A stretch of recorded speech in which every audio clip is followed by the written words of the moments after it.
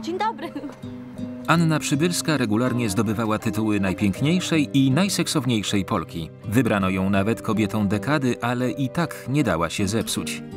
Ona była szczera, ona była prawdziwa od początku do końca i czysta w tych swoich mm, intencjach zawsze, y, uczuciach i w tym, jak kierowała swoim życiem. Na pierwszym miejscu zawsze stawiała bliskich. Partnera Jarka Bieniuka, córkę i dwóch synów. Na co dzień była dobrą matką oraz gospodynią domową.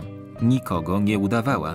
Można powiedzieć, że była antycelebrytką. Miała dystans do siebie i innych. Potrafiła doskonale połączyć życie zawodowe z domowym.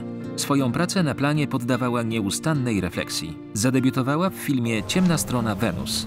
Max? Proszę? W telewizji po raz pierwszy zobaczyliśmy ją w niezapomnianej roli posterunkowej Marylki Baki w serialu telewizyjnej dwójki Złotopolscy. była pierwszy dzień z tymi swoimi pięknymi oczami, z tym dziwnym, niskim głosem, śmiejąca się bardzo nisko. Fantastyczna. I wtedy uświadomiłem sobie, że mamy do czynienia z jakimś wielkim talentem.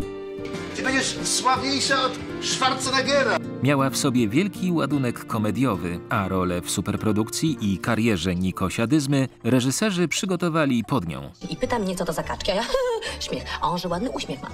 I wtedy powiedział, że mogę karmić dalej te e, kaczki, czyli e, gęsi, albo pojechać z nim. W lipcu 2013 roku przeszła operację usunięcia guza trzustki. Mam w kieszeni SMS-y, które pisała do mnie podczas tej choroby. Mówi, tato kochany, ja się nie dam, tato będę walczyć.